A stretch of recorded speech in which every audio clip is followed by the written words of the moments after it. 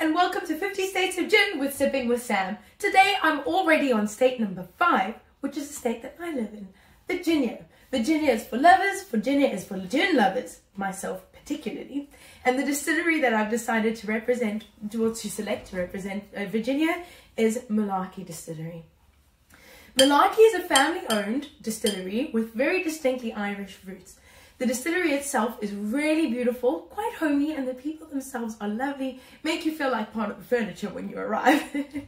and really, like, I felt like a regular, I felt so welcome and warmly greeted, and I was given such an amazing tour. So if you are looking for something to do on the weekend and you're in the Virginia state, do consider visiting MurLarkey because they not only have this gin, they have a massive range of spirits that are well worth trying. The name itself comes from the combination of three family names, and that would be Mike and Tom Murray, Jim Larkin, and Jim's maiden name, mom's maiden name, which was Kelly. Together, that produced the name MurLarkey, which is also another word for bullshit, but bullshit is definitely not what their spirits are. The 16 plate still produces a range of gins, well not gins, just one gin, one gin that is wild and makes your imagination run wild.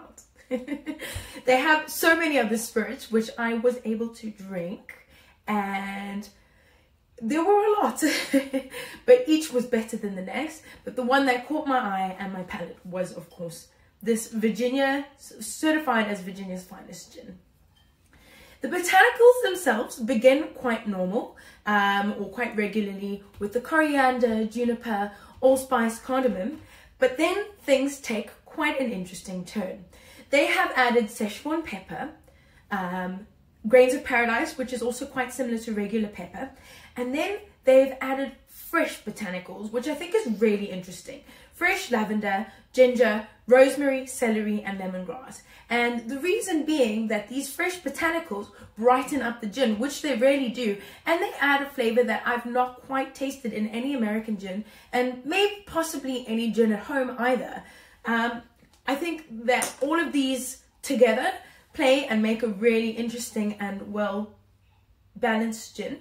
On the nose, you definitely get that sweeter, green, fresher vibe. Um, on the palate, I get that, that burn, and it's not like from a, a, if you ever drink an alcohol that's of a lower quality, that will burn your mouth. This does not do that in any way because as I've said, it is a premium spirit. The burn comes from that Szechuan pepper and the, and the grains of paradise. It's a really warm feel and then after that I get a little bit of the ginger too. The lavender is a little bit far behind. I really wish that I could find this lavender bitters I've been looking for but today instead I've opted to play with that ginger botanical. So have in my shaker some fresh blueberries, ice, and a double shot of MurLarkey Imagination Gin. And I'm going to pour that into a glass.